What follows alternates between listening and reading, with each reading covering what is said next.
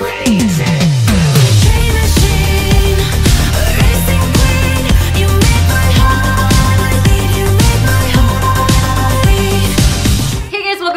channel. Today we are doing just kind of like a chill, no studio lighting, front of the window kind of video today. I just wanted to sit down and just kind of relax. Sometimes setting up lighting can be such a hassle and you feel like super claustrophobic in your room or in your like setup. So just filming in front of the window, it's just nice to relax and you know, spice it up on my channel. So today we are talking about BoxyCharm and what I got this month, what I think about it. So if you are interested in working with this palette, seeing my thoughts and recreating this amazing glossy glowy look, make sure to keep on watching.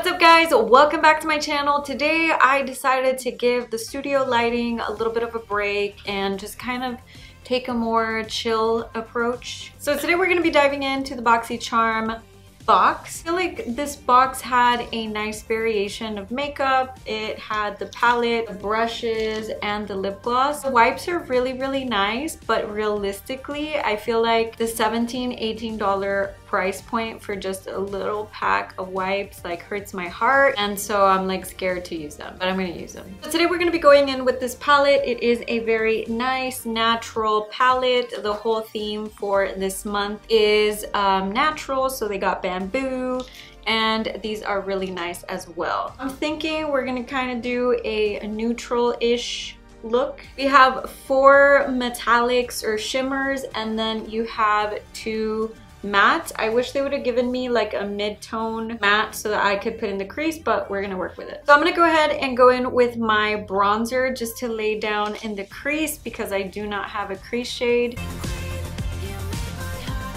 I'm thinking I'm gonna go in with that green and then maybe do like a blue in the bottom. I really don't know where this is going. So just as I'm working with the palette, it doesn't smell like anything. For me, smell is just it's a big thing. I had to get rid of other palette. The festival palette smelled like old talco. I don't know, like just this ugly, ugly smell and I cannot deal. So first I'm gonna just lay down the shade with my brush and then we'll see if I'm gonna go in with a setting spray. I didn't do a cut crease today. Maybe I should have. And use my setting spray.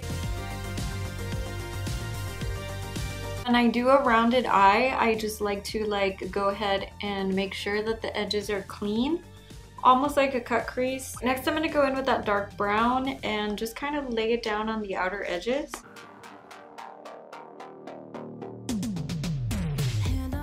I'm to go ahead and use Enchantress in the inner corner.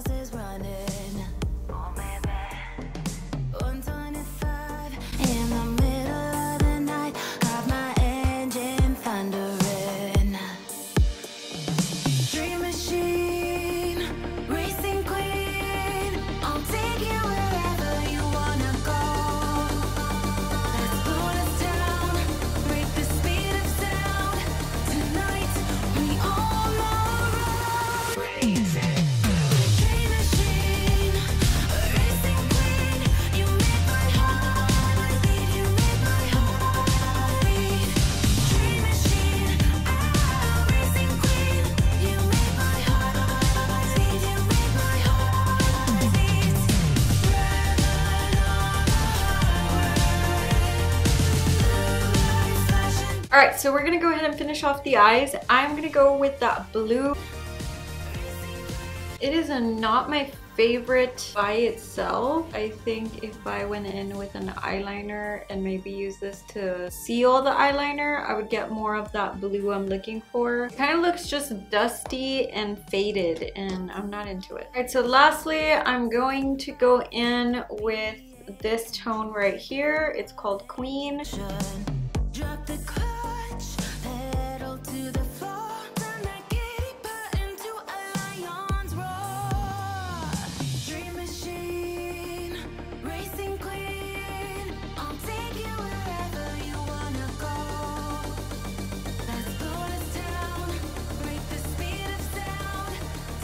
Alright guys, that wraps up the look. This is definitely different because I'm used to my studio lighting and I know throughout the video light kept going in and out, but it's okay because it's a chill video. So final thoughts over this BoxyCharm box. The Butter London palette is nice overall. I just feel like I was expecting a little bit more of a bang with the foils and the metallics and I felt like after I wet the brush, it was just a nice color, not a wow color. But I mean, overall, this is a nice palette. Luxie brushes in general are amazing. So if you can subscribe, you can slowly start to build up your brushes. These are really good quality and I really enjoyed that. Lastly, this gloss by itself is a nice tone of brown with a little bit of a golden sparkle. I have worn this by itself and it's not overwhelming, but you can see a nice wash of color and on top of a matte lip is really nice as well. I'm super interested in trying trying out these Superfood Vital Veggie Mask. Veggie Mask. Um, it sounds really scary and exciting at the same time. So, so I will try this out and let you know on my Snap. If you're not following me, make sure you do. And I heard Kathleen Lights talk about these uh, cleansing spa water wipes. Now these are 17 $18 and they come with they come with 10 cloths.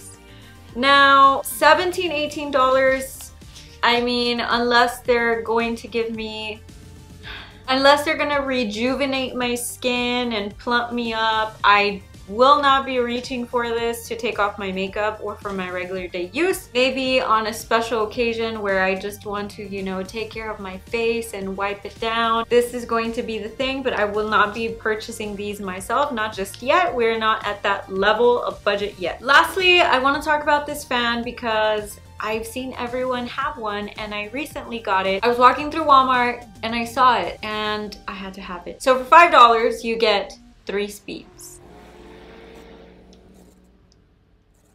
One, two, and three. So if you are at a Walmart or you can hop on on Amazon or walmart.com, these are $5. I saw black, white, and like a purpley lilac tone, but these are a lifesaver because I used to go in with the fan and it broke. So these are cool. And it has a rechargeable uh, plug-in. So that pretty much wraps up this video. I am loving the light at this particular moment, but um, I probably will jump back onto studio lighting. But today was just kind of like a relax, get ready with me to go nowhere. Thank you so much for watching. Don't forget to follow me on all my social media, Instagram, Snapchat, and Facebook. Also, since you're here, make sure to subscribe and turn on your notifications so that you don't miss any future uploads. If you'd like for me to review a certain product or recreate a certain look using color, be sure to comment in the section below. We will be starting to do lives on a 100 Hair Cosmetics page and my personal makeup artist page. We will start to do giveaways on Facebook Live, so definitely make sure that you are also following me on Facebook so that you can have a chance to win in our giveaway. Thank you so much for watching and I will see you next time.